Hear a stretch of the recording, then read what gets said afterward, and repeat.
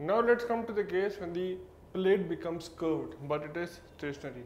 So in this case the uh, jet of the water is striking in the middle in the x direction. So this is x and uh, this would be y. It is very important to define and understand your coordinate system.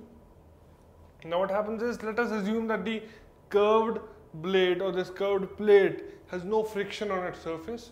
So whatever velocity the water strikes it with, the same velocity of the jet comes out in a direction which is tangential to the curved plate.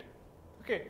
Now this will have two components, one in the uh, cos theta or in the horizontal direction and the other is the vertical direction.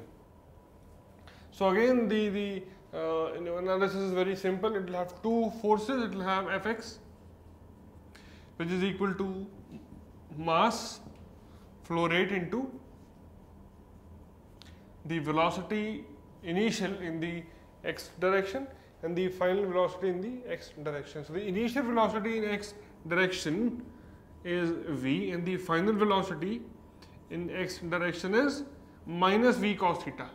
It's in the opposite direction. So fx will become rho a into v into v minus minus minus becomes plus and this will be v cos theta.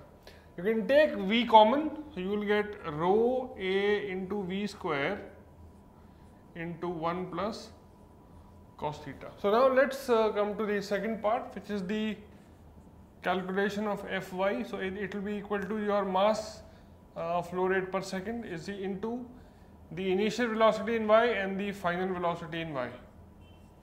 So there is no initial velocity in y, is it? No, there is no Vy. So this can be taken to be 0. The final velocity in y is V sine theta. Okay, so you will have rho a into V square into minus V sine theta. Okay, this is V, not V square, V sine theta.